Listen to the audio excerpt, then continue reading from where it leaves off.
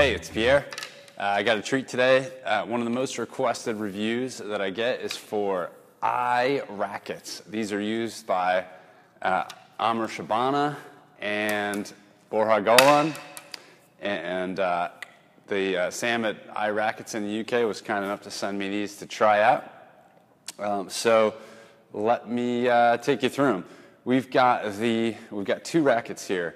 The X-Lite 120 Control, this one is called, and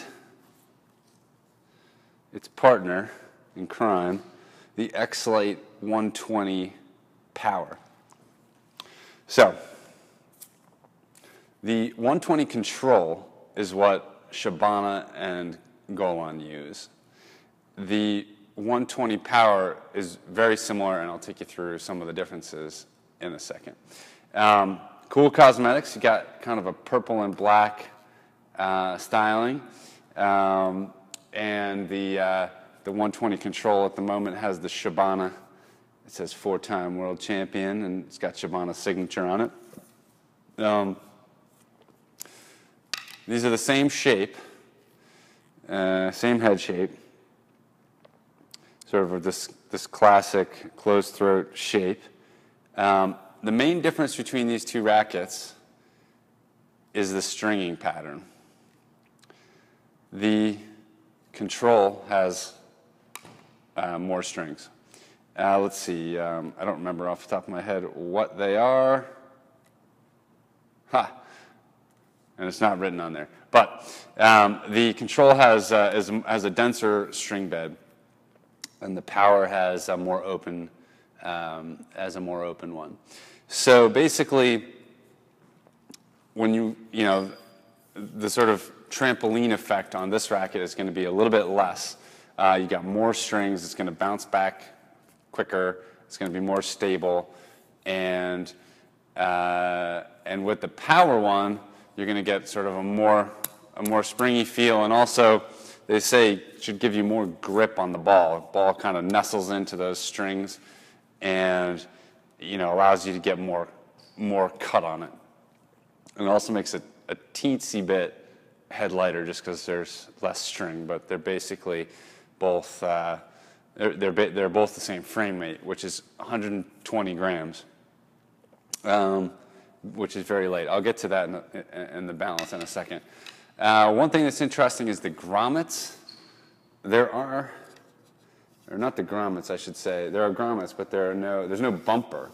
Um, this is a, this is, well, you know how there's a normal bumper on the top of every squash racket? It's plastic piece uh, that the, the strings go th- uh, sort of sticks through um, these little grommets, and then the strings feed through that. Well, on the eye rackets, they are just these little, they call them eyelets. So they don't stick out and cover the, um, the bumper. And in part, it does a couple of things. Um, number one, it takes some weight off the racket. Um, and I, Eye's philosophy is that the bumper guards, like a lot of pros just take them off anyway. Um, they prefer to, to strip them off. So their philosophy is that it doesn't actually provide all that much protection. Um, they, their, their research has found basically that most breaks on, on rackets don't happen at the top where the bumper guard is, you know, they happen elsewhere on the frame. So their point is it's not really serving much useful purpose and it's just adding extra weight to the frame um, and making it sort of that much harder to sort of scrape a ball off the wall, I, I think. One, one of the nice things about these rackets is you can really, you know, you can, you just get that, that little bit much more control on, the, on those balls that are tight to the wall. You can really kind of carve in there a little bit better. Um, right. So the weight and the balance. They're 120 grams, and the biggest change for me trying to play with these rackets was they were they were very light and and I'm used to this is kind of my regular racket, this Dunlop frame that I always reference. And this is only 130 grams, so it's sort of medium. But and it's you know this is kind of evenly balanced, maybe maybe headlight. It says I, I sort of think of it as evenly balanced, but it's still the head has a little bit of you know heft to it still, even though it's a medium uh, you know medium weight racket, and it it gives you a little bit of kind of like guardrails. You know, as you're swinging, it gives you um, it, it, it kind of helps you carve out a path. And when I first started using these eye rackets, I, it, was an, it was a big adjustment uh, at first because it doesn't, it's, a, it's an evenly, they're both evenly balanced rackets.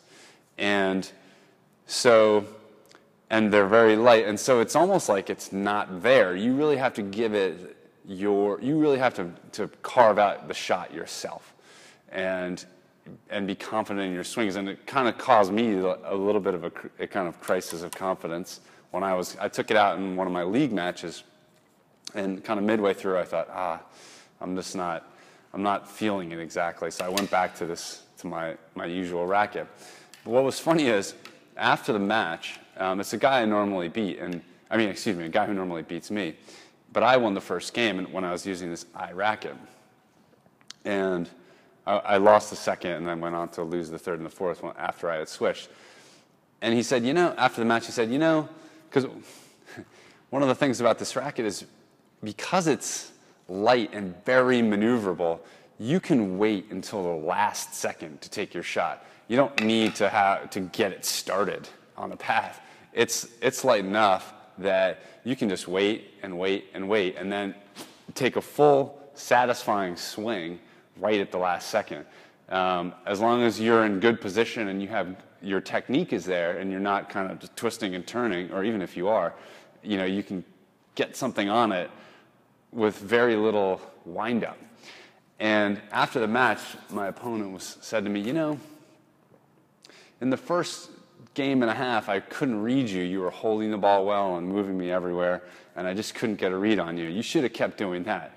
So after, so I, it was after I had already switched, you know, to my old way of just kind of up and down the walls, which he just gobbled up basically, that I realized that, um, you know, kind of what was possible and in, in this racket and something that I really haven't tried to develop in my game. So, um, so I'm giving this uh, a, um, I'm giving this uh, a lot of extra, you know, I'm taking my, taking my time to get used to this and, and really try to get to know it because I think that there's, although it takes some commitment if you're used to a certain kind of racket, it, it gives you certain advantages. I mean, if you're a kind of player that likes to hold the ball and use deception, this is great. Um, you're going to probably pick this up and be able to whip it around right off the get go.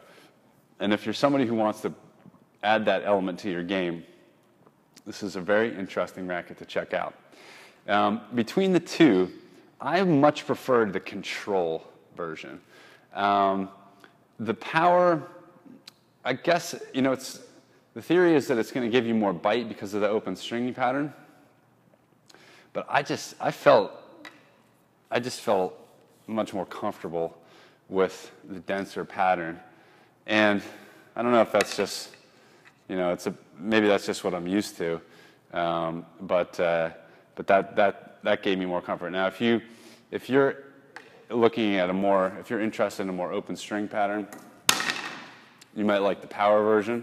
Or if you're just looking for a little extra pop uh, on your shots, you might want to give this, give the power one a try. It's the same, it's the same shape, again, uh, it's just a different stringing pattern. Now, this is actually strung with um, eyes uh, string, and I don't remember the name of it, but it's it's kind of um, I'll put it in, on the blog uh, in, in the post, but um, with a link.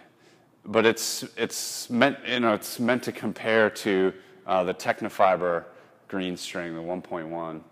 Um, and I thought it was really nice, uh, this string. I feel like there's a ton of, of touch in this. I have this the Tecnifibre 1.1 in my other racket, and it felt it did feel very similar, and it, there, it felt like there was a ton of touch in this, um, and that was and that was great. It kind of like right out of the right out of the gate, I was feeling that.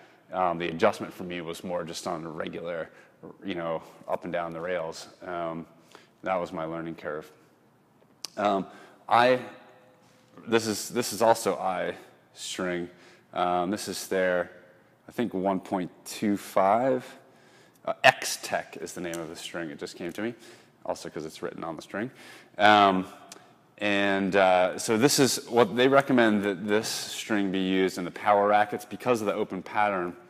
It, it can tend to um, the string can tend to break a little bit more. So this is a this string is a bit tougher. Uh, the um, the the 1.2 X-Tech uh, is um, they, they, recommend for the control racket just because of the, the, denser pattern allows it. It's a little, it's not as strong, it's not as, uh, not quite as durable. So, um, so they don't recommend it for this, but they do recommend it for the uh, control racket. Um, so, the eye. Oh, one more thing about the design. I don't know if you can tell this on the camera, especially not when I don't line them up right. One of them is a matte black, and one of them is uh, uh, the more glossy black. The glossy one is the power version, and the um, the matte is the control version. And they have across their whole range, they have um, they use that convention so that you can uh, you can tell them apart. Right. So the uh, the X-Lite 120 control, Shabana and Golan, and the X-Lite 120 power. All right. Thanks for checking it out.